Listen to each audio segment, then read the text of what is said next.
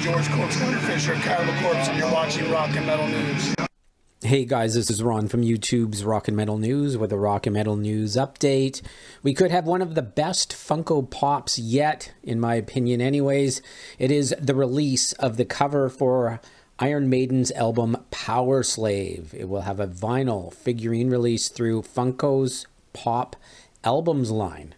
Pre order at Funko.com. That link is in the description. Check it out. It looks so cool. And uh, you can check out their Instagram post as well in the link in the description. I think Powerslave is one of the best album covers of all time. And uh, man, I remember going to see that uh, tour.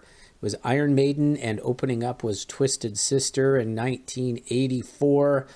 And it was amazing. They opened up with Aces High and uh, never looked back. Rime of the Ancient Mariner live and all the great hits on that album, man. They just played a ton of it, Losfer Words and everything. So, what a great tour, what a great album, and this is pretty cool for you collectors. This is Ron from YouTube's Rock and Metal News. Thanks for tuning in.